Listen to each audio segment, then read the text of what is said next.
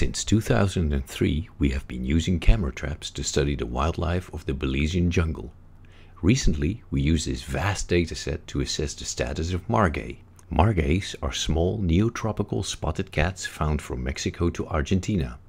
Flexible joints and long tails give them great climbing ability. However, little is known about margays in the wild, and their global population is considered nearly threatened. This is the first long-term study of a margay population. Generally, jungle trail cameras photograph margays only sporadically, and we investigated whether this reflects true rarity or the difficulty of detecting these tree-loving cats with ground-based cameras. We detected margays throughout the sanctuary with approximately 400 photographs over a 14-year period. By comparison, during the same period we detected jaguars 3,000 times. We identified 180 margay individuals, but two-thirds were detected only once.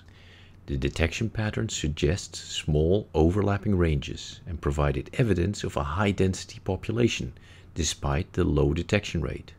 Furthermore, our long-term data also shows individuals surviving at least 10 years. These are the first data on margay longevity in the wild.